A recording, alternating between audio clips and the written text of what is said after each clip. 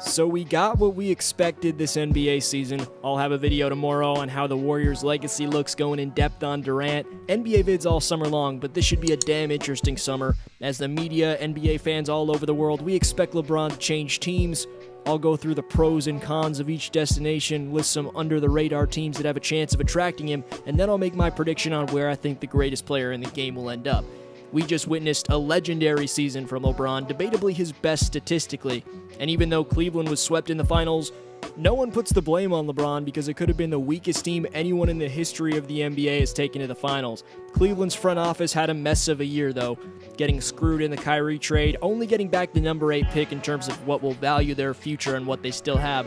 A link in the description for the main reason I think LeBron will leave Cleveland, but time for the number one team in the King James sweepstakes. Pairing up with two All Stars, one is longtime friend CP3, and another who's in his prime, the league's leading scorer this past season, probably the MVP. Imagine Harden and LeBron paired up. Harden reportedly wants to transition into an off ball role. CP3 is no longer in his prime physically, but we've never seen him as a third option. He hasn't slowed down his production statistically over the last few years. Bron and Houston would mean a lot more spot up threes for Chris, which I'm sure he'd thrive with. He's always loved that shot. Instantly, you would have the talent to compete with anyone in the league. The cons are that only the top of your roster would be in place. GM Daryl Morey made a great trade for Chris Paul last summer. He's got to make a ton of moves so the Rockets have the cap space. With eight players signed right now, they only have 21 mil in cap space. LeBron requires significantly more than that. Where would this leave the rest of the roster? Does it even matter when you have that top three? This could be interesting. Stay tuned to see if Houston is the team I think he'll go to. The process was trusted and paid off in 2018. Blatant tanking before that. Philly now has a ton of young talent on the rise, also a ton of cap space because Simmons is on his rookie contract for the next few years. The reason the Sixers are in this top three is because with everyone talking about LeBron going to Philly, I wanted to give my take on all this talk quite frankly, I'm not a believer in the Ben Simmons LeBron combo. With LeBron going to Houston, he's going to be off ball a majority of the time as well.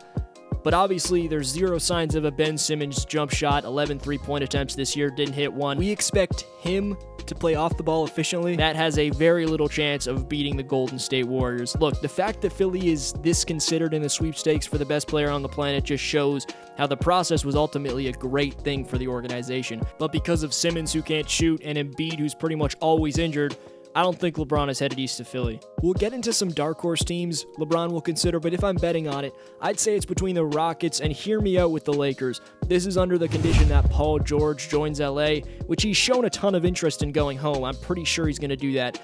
A look at the roster of the Lakers. Randle, Ball, Kuzma, and Ingram are all on rookie contracts. Lonzo could be a reason why this doesn't happen because of his jumper, but to beat Golden State, you need a multitude of athletic and talented young guys. If there is a formula to beat them, I think it would be that. Paul George is the second option, who could greatly improve his game playing next to LeBron. Ingram would be your third option.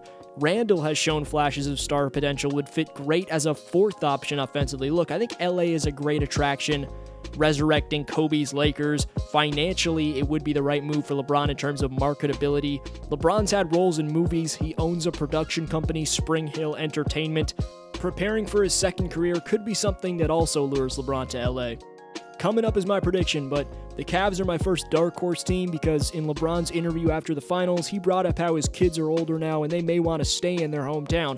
Whether or not LeBron's kids want to stay in Cleveland, I think they'll have an understanding of the importance of their dad's decision and not want to get in the way of it. On the off chance they don't, LeBron may stay a Cav.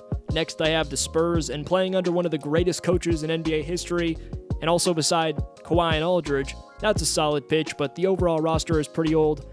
I hope he comes to the Raptors as a fan. I'm not putting them in this discussion, though, despite this report a few days ago. Hey, man, bringing a title to Canada, that's a pretty damn good pitch. LeBronto, right?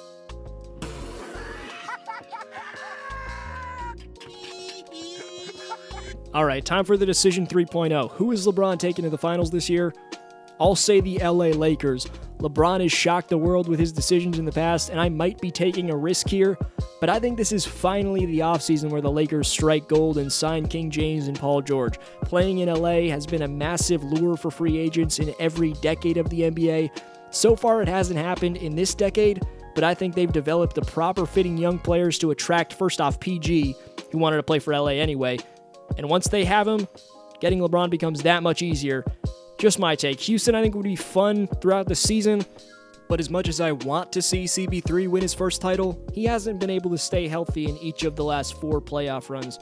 This is something LeBron must foresee when making his decision. I think he does. That leaves the lure of LA. Let me know where you think LeBron is going, though. After my Warriors video tomorrow, it'll be time to make my draft content. Then I'll be bringing you guys all types of NBA stories. Leave a suggestion for a story down below. Have a great day. D Flow signing off.